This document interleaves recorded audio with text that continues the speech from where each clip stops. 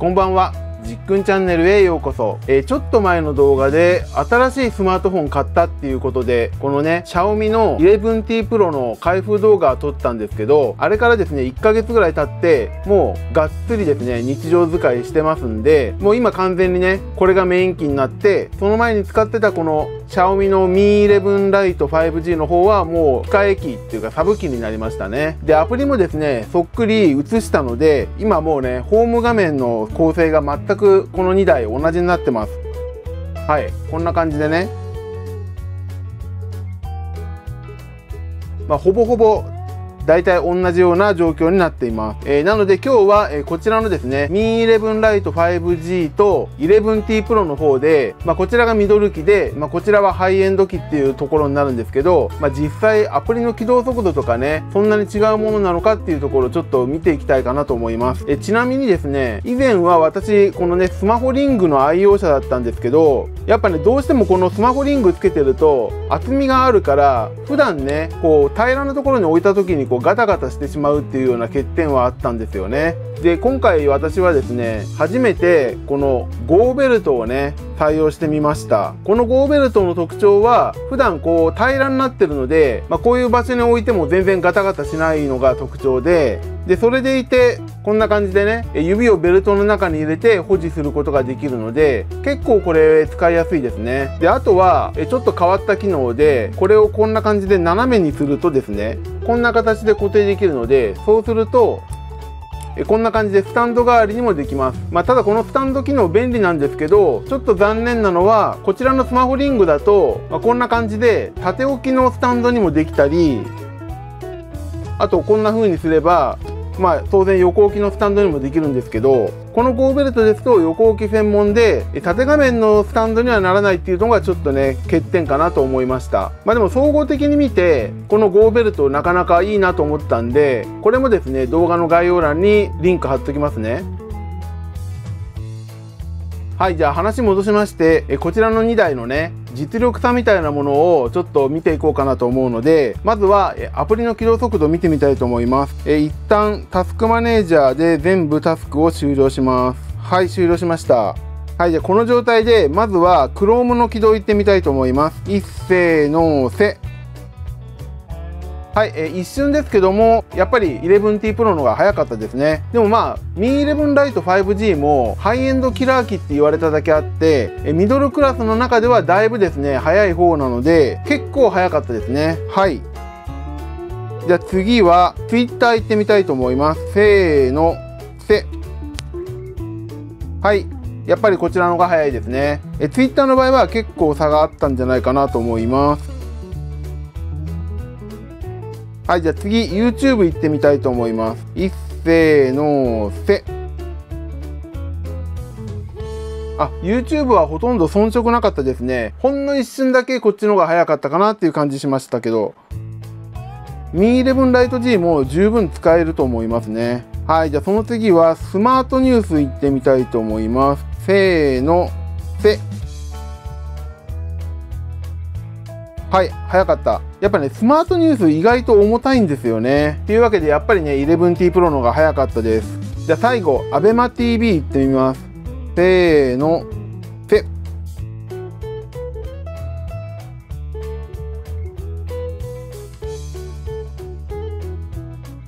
あちょっとこっちね初期設定になっちゃったんでもう一回やり直しましょうか。はいじゃあもう一回やり直します。せーの。せ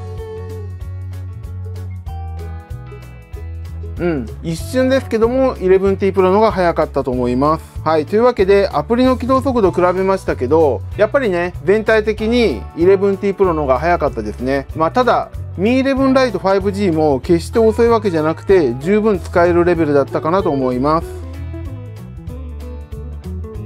はいじゃあ次はですねえ音楽を流してみてちょっと音質の比較をしてみたいと思うんですけどえこちらのね Mi 11 Lite 5G の方は本体のスピーカーモノラルなのでこの外側の方からしか出てこないのでまあ不利って言えば不利ですね。でそれに対してこの 11T Pro は上位機種だけあってステレオスピーカーになっててこの底のところと頭のところね両方にスピーカーがあるのでこれでどれぐらい音質に差があるのかねちょっと聞いてみたいと思います。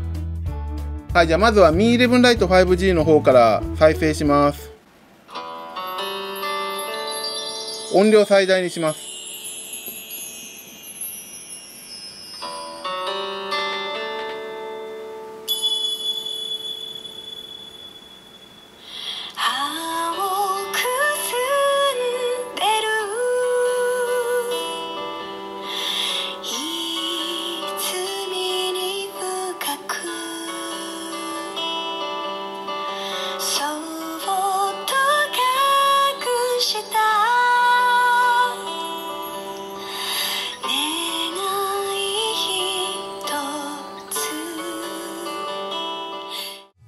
はい、じゃあ次は、えー、11T Pro の方行ってみたいと思います。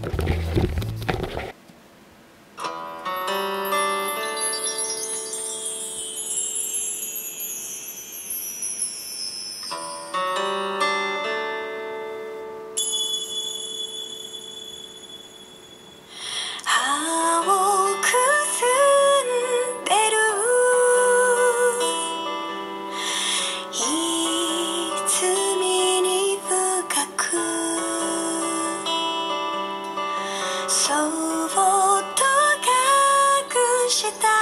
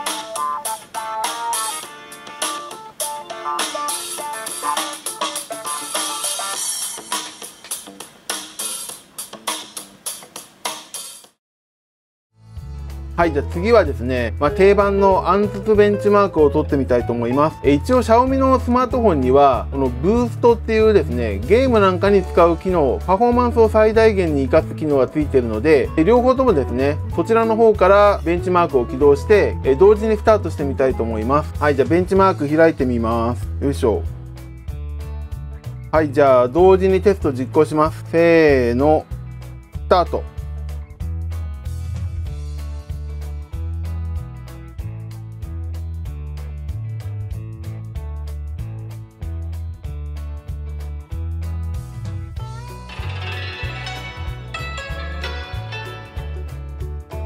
はい、11T Pro はすぐ始まったけどこっちの方はねちょっと待たされますね。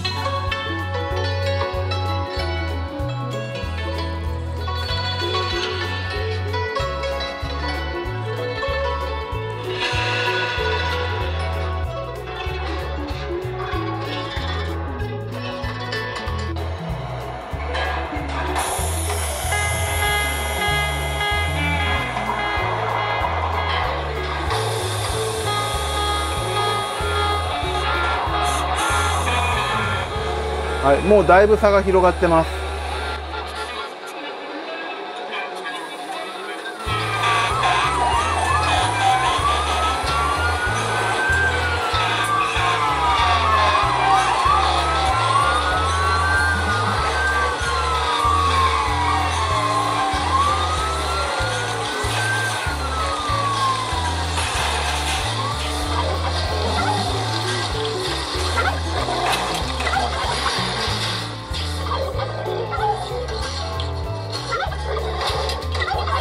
アニメーションの滑らかさはやっぱこっちの方が上なんですけどこっちもカクカクしてるほどじゃないんですよね。こっちもね結構ハイエンド並みの処理速度はあるのでやっぱコストパフォーマンス考えるとこの Mi11 ライト 5G はお買い得ですよね。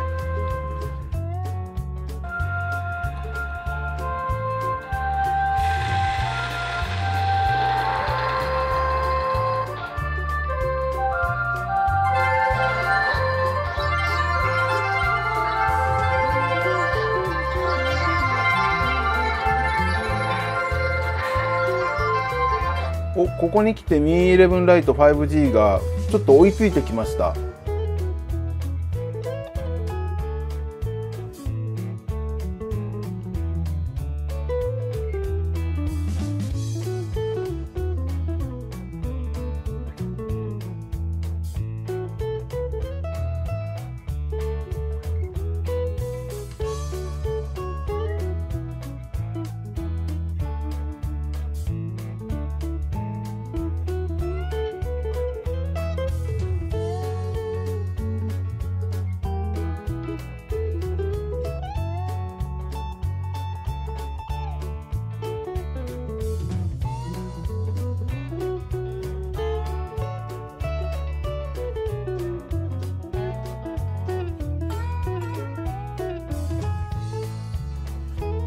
はい、11T Pro の方は終わりましたね。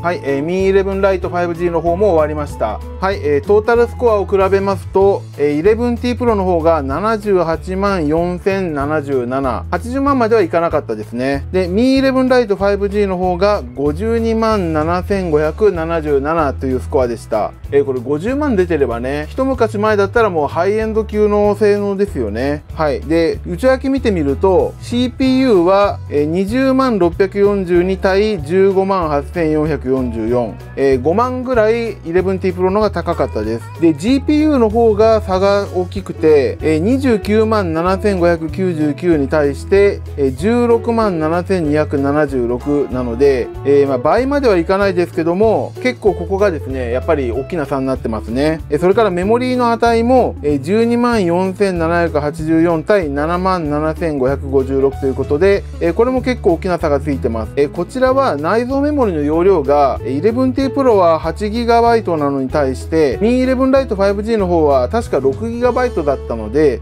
その差もあるかなと思います。それから UX の方は16万1052対12万4201というところでした。それから温度の上がり方を見ると開始時が32度で同じなんですが Mi 11 Lite 5G の方は最後ね41度まで上がってるのに対して 11T Pro の方は38度でとどまってるので発熱具合もこちらの方がね少なかったですね。それだけ処理速度に余裕があるっていうことなんじゃないでしょうかはい以上ベンチマーク結果でしたはい、次はですね、外出してきた時に、この2台でですね、動画撮影してきたので、動画性能の差なんかを見てみたいと思います。はい、どうぞ。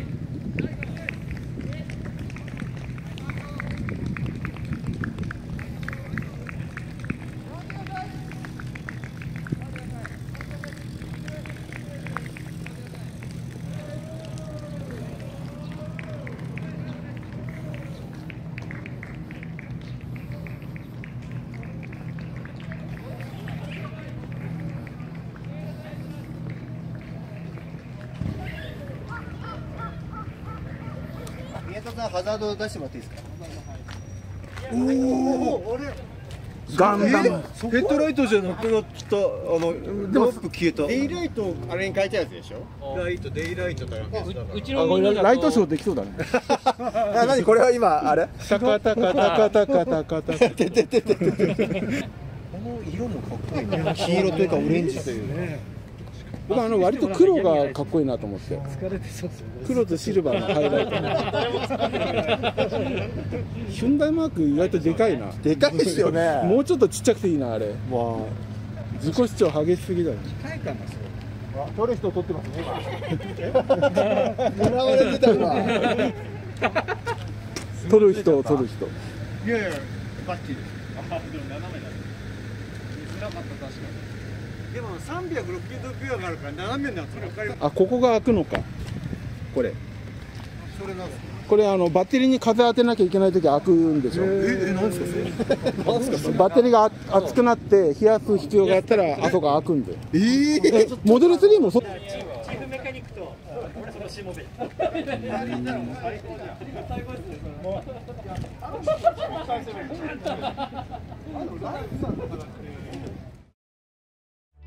はい、えーいかがだったでしょうか、えこうやって2台を比較してみると確かにハイエンド機種のねこの 11T Pro の方が、え性能的にだいぶ上回ってるなっていう印象はあるんですけど、え単体でこの Mi 11 Lite 5G を見る限り、えこちらもですね十分な性能だなと思いました、まあ、普段使いでこちらの Mi 11 Lite G で困るシーンはほぼないと思うのでで今ね価格もかなりこれこなれてきてますのでだいぶ安く買えると思うんですよ。え SIM とセット販売とかだったら2万円以下ぐらいで売ってるところもあったと思うのでこちらね相当お買い得じゃないかなと思いました。え一方こちらはねだいたい6万円前後するのでまあそこまで必要ない人はこれでも十分じゃないかなと思います。まあ私の場合ねソフトウェアアップデートの関係で一時的にこのね Mi 11 Lite 5G の動きがめちゃくちゃ悪くなっちゃってまあその時にね我慢できなくてこっちをポチってしまったのでまあもうこっちに乗り換えましたけども、えーまだまだねこっちの Mi 11 Lite 5G もあと12年はですね現役で使える機種じゃないかなと思いました。はいじゃあ最後ですねエンディングに載せながら、えー静止画の写真をねこの2台で撮ってきたものを流しながら、えーこの動画を終わりたいと思います。はい、この動画がいいと思いましたらグッドボタンをお願いします。えそれからチャンネル登録もお願いいたします。ではまた別の動画でお会いしましょう。それではまた。